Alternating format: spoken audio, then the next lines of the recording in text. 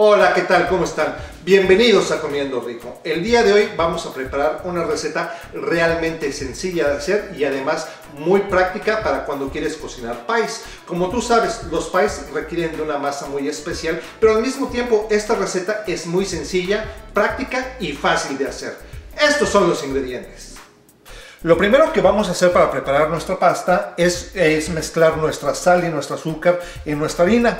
Para las cantidades exactas de esta receta les voy a recomendar que visiten nuestra página web encomiendorico.net. Aquí abajo en la descripción de este video van a encontrar la liga que los va a llevar directamente a la receta de este video. Bueno, entonces lo primero es la sal, el azúcar, la harina. Ahora yo ya corté por mi parte los pedacitos de, mantequilla los voy a agregar aquí directamente a la, a la, mezcla. Es recomendable que esta harina o esta mantequilla esté completamente fría. Pónganla unos 30 minutos en el refrigerador antes de prepararla para que se pueda agarrar la consistencia que estamos buscando. No utilicen mantequilla al tiempo. Entonces ponemos aquí nuestra, nuestra mantequilla directamente. Vamos a poner nuestro shortening, que es este. Miren cómo se ve lo ponemos acá. Y ahora idealmente este, esta harina se debe de preparar en uno de esos ah, aparatos que se llaman food processors. Pero yo no tengo uno de ellos y mucha gente tampoco los tiene. Entonces les voy a enseñar la manera manual de poder hacer esto. Con un tenedor común y corriente vamos a empezar a mezclar o a, desbaratar nuestra harina adentro de nuestra, o nuestra mantequilla, perdón, adentro de nuestra harina para que se mezcle de una manera uniforme, ¿no? Entonces empezamos a desbaratar de esta manera, espero que se pueda ver bien. Esta es una manera manual y pues es así como lo estamos haciendo. Tengan paciencia, se lleva un poco de tiempo, es, uh, se van a ensuciar las manos obviamente, pero pues así es la cocina. La cocina, si uno no se ensucia las manos, entonces es que no está cocinando. Una vez que hemos logrado esta consistencia, es el momento de poner nuestra agua fría. Es importante mencionar aquí amigos que deben de tener mucho cuidado en que todos los grumos de la mantequilla se mezclen muy bien. Ahora, el otro secreto de esta harina es que vamos a agregar agua helada. Ese es el punto de esto. Entonces lo vamos a agregar un poquito. Vamos a revolver nuestra mezcla.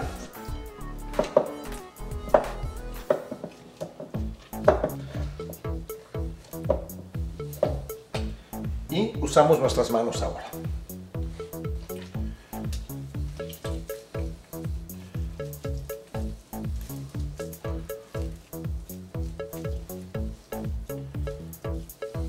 Moverlo así con las manos me va a ayudar mucho a también desbaratar todos esos pedazos de mantequilla que no pude mezclar con el retenedor hace unos momentos.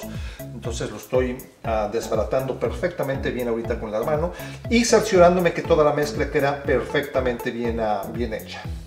Perfecto, una vez que toda mi pasta está completamente mezclada, lo que voy a hacer es ponerla en una bolsa de plástico, así como esta, así hecha bolita, perfecto.